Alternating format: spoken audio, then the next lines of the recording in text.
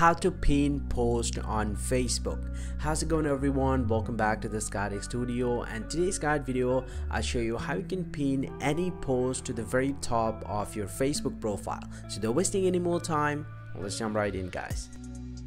Well, so now to pin post on Facebook, here I'm using my iPhone, but you can do the same step on your Android phone as well. Simply go ahead and open up the Facebook app right on your device, and from the home page, simply go ahead and tap on this menu button at the bottom right. Now go ahead and tap on your profile right there. Now once you're here inside your profile, you just need to find out uh, the post that you want to pin uh, to the very top of your profile.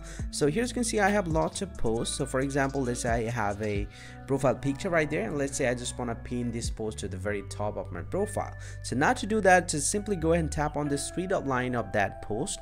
And once you do that, you'll get to see the very first option, pin post. You just need to tap on that and now you're pretty much good to go. And here as you can see the post has been pinned to the very top of my profile. Now every time anyone can come to my profile and he or she will get to see my this profile at the very first or at the very top of my profile. So guys this is how you actually can pin any post to your facebook profile. Hope you find this very helpful. If you do please drop a like and subscribe to this channel. See you guys around and thank you very much for watching